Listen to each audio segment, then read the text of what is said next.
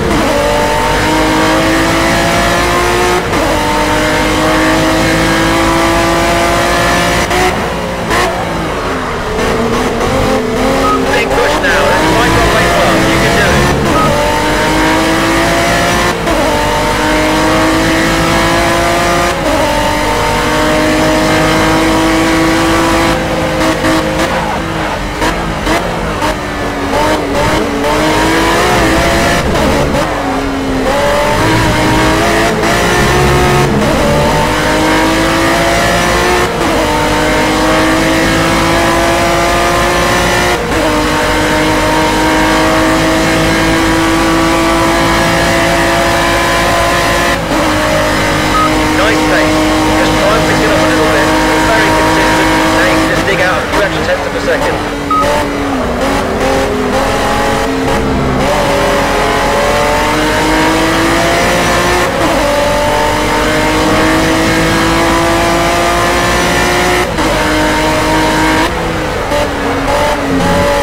Come on, this guy has it all.